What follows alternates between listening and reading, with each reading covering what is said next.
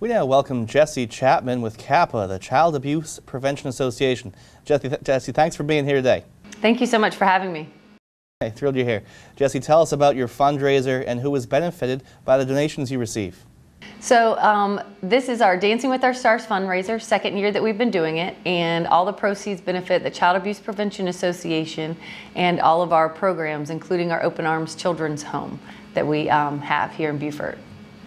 So how much money was raised last year? We raised over $60,000 last year, and that was pretty awesome since it was our first event. We had one of our teams, the team that won the People's Choice Award, they, they raised over $12,000, and that was Tracy Robinson and Topher. Extremely respectable. How do you choose your teams and your stars? So it's an interesting um, committee that we uh, we use to help us choose our stars. We go out and we think about people who give back to the community and either mean a lot to CAPA or work a lot with CAPA or other agencies like CAPA.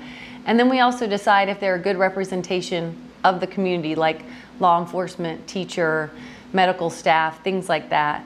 And we also try to see, you know, how well they are at pulling other people to support them because it's not just about raising money, but it's also about bringing awareness to child abuse prevention in our community. And so it, there's a lot of dynamics that goes into picking the different teams.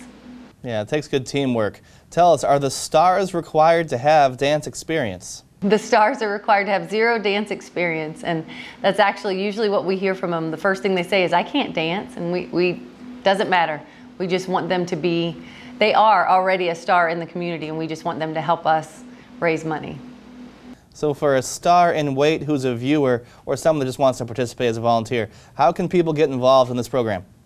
So we, um, uh, like I said, all the stars are um, volunteering as well as the instructors are volunteering. And so that's amazing because everything they do is just for us. But the biggest thing, the biggest way the community can support is by voting for their favorite team. And the way that they vote is by donating to CAPA. Every dollar raised counts as a vote. And um, they can also purchase an ad in our program or they can purchase a sponsorship um, through the through the teams. And you know, if somebody buys a silver sponsorship, which is $500, that's 500 votes for the team. So tell our viewers who want to come out and see the event itself, how can we get tickets? We are completely sold out of tickets for Dancing with Our Stars. The Saturday night event sold out in less than a day, and it's an exciting problem to have.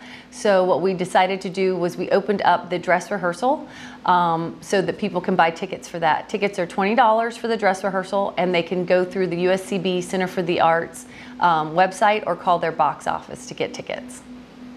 All right, Jessie Chapman is with CAPA. Jessie, thanks for the essential work you do in our community. We appreciate it. Thank you so much. Hey, it's our pleasure.